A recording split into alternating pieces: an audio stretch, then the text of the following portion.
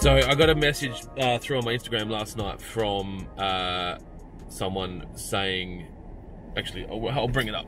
I'll read it out because that's probably going to be more relevant.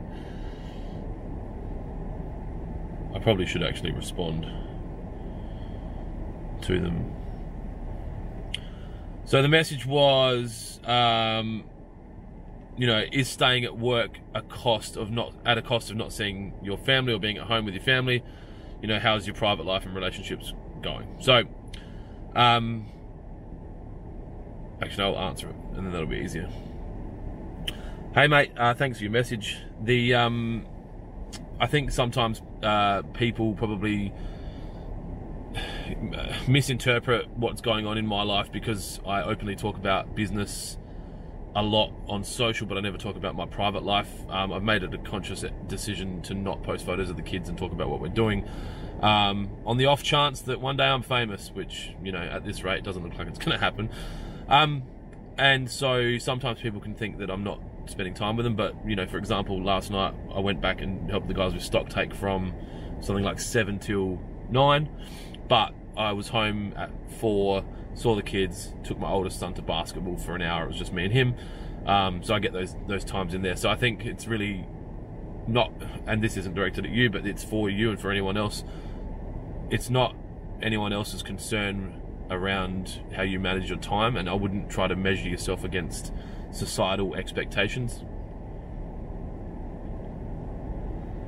Yeah, I wouldn't try and measure myself against like the expectations of society.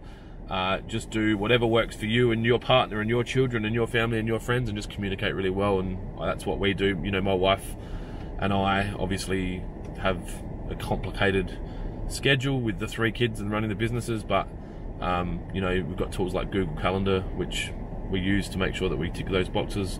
Um, the relationships in my private life are, quite minimal. I don't spend a lot of time with people but when i do spend time with people it's good. Um, and then obviously the, the kids and, and wife um, would be if you were comparing to anyone you know up there with with I think the best um, it's more around quality than, than quantity. And if we're if we're home with the kids then we're doing stuff for the kids. Yeah so ultimately like I think sometimes people can get really caught up in making sure that their you know work life balance is in check when you compare it to someone else's, and it's not anyone else's. Like you, you're living your life, so if you want um, to to work, you know, it's actually quite relevant. I'm wearing Jodie's jumper, Seven Effect. Like Jodie decided that she wanted to work, um, like not not work school holidays and work three days a week and still make a six figure income.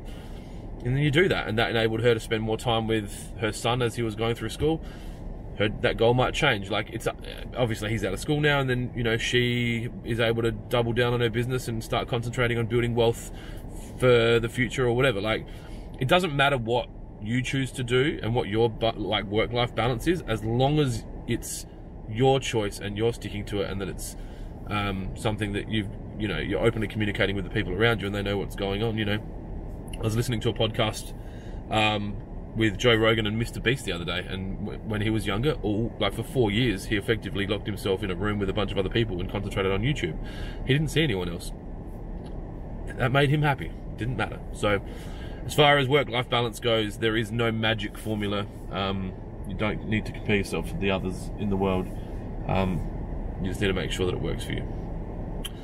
Very interesting in the car with Clint today. Um, so uh, hopefully that's been of help to, to one of you that's worried that you're staying back at work too long or that maybe you've spent too much time at home and that, that work is uh, starting to suffer.